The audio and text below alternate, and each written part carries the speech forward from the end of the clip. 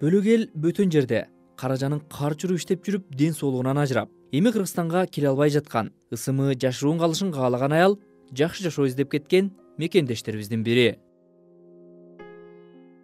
Мээрим деп аты өзгөртүлгөн бул аял сауд аравиясынын борбору эр рияд шаарына үй кызматкери жумушуна иштөө үчүн келишим менен эки миң он алтынчы жылы кеткен. Ал өзүнүн тажымалы жана азыркы жагдайы тууралуу сауд аравиясынан интернет аркылуу байланышып айтып берди өз мекенинде ишсиз жүргөн мээрим сауд аравиясындагы жумушту жарнамалардын бири аркылуу тапкан мээрим бул ишти колго алган бишкек шаарындагы виза старт фирмасына кайрылып ал фирма өз кезегинде мээримди аль мутахида ишканасына жөнөткөн виза старт эр риядта үй кызматчылык иште эки жыл бою иштөө боюнча түзүлгөн келишимдин негизинде мээрим менен кошо дагы эки кызга виза ачып документтерин даярдап берген.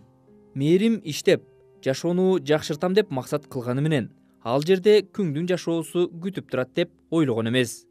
Бөлүнгөн үй бүлөгө баргандан бери күн сайын тыным албай он он беш сааттан дем алышсыз иштеп келатат.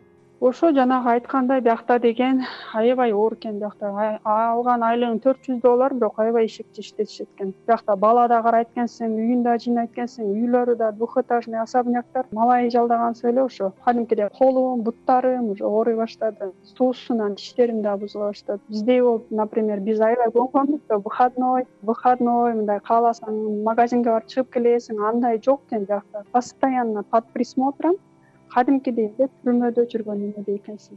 Ушундай акыбалга кириптер болгондо кайра мекенге кайткысы келип бирок жумуш издөө көкөйүнө тийгендиктен эптеп чыдап иштей берүүнү чечет. Бирок азыр эми ден соолугу начарлап мындан ары жумуш жасоо кыйын болуп баратат. Биякта деген он беш он сегиз саат иштейсиң постоянно на ногах жүрөсүң. Буттарым өмүрү түйүлчү эмес түйүлүп азыр кечинде ооруйт. Колдорум кадимкидей веналар чыгып уже колдорум да ооруйт аябай оор биякта аябай оор. Малай малай эле экенсиң биякта малай же алдап алгансың биякта деген ошо аябай оор экен.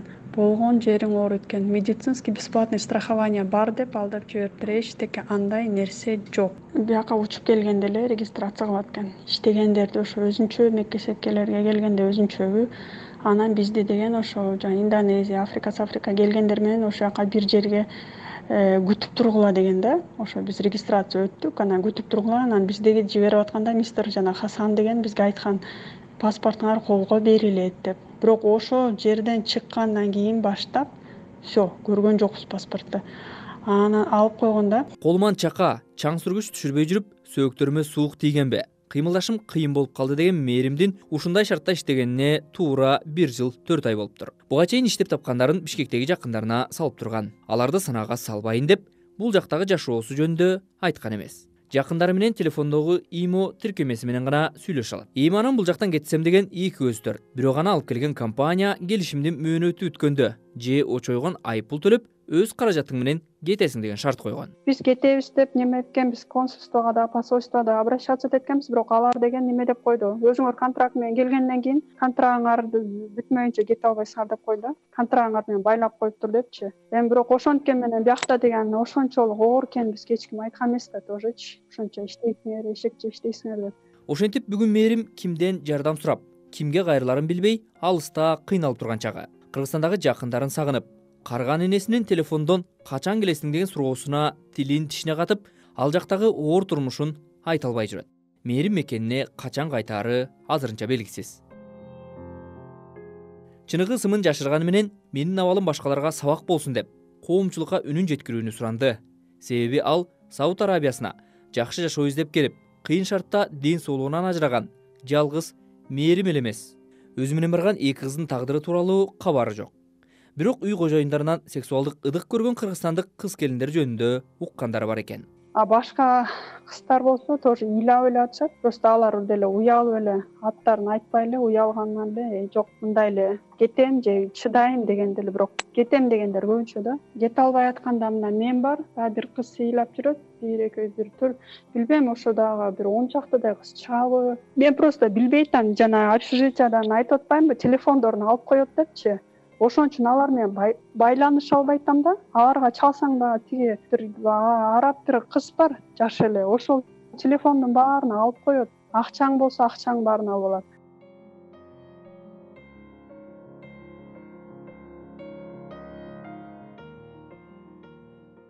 мээрим айтып жаткан бишкектеги виза старт компаниясы менен байланышууга мүмкүн болбоду. Бирок аталган компанияда иштеп кеткен атын атагысы келбеген кызматкер мээрим эмгек келишими менен таанышып өзү макул болуп кеткенин билдирди. Ошондой эле ал ооруп жатса медициналык камсыздандыруу кызматынан пайдаланса болоорун кошумчалады.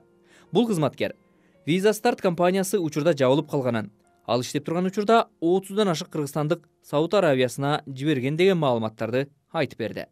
Мээримдин окуясына азаттык радиосу дагы кайрылмакчы. Токтосун шамбетов азаттык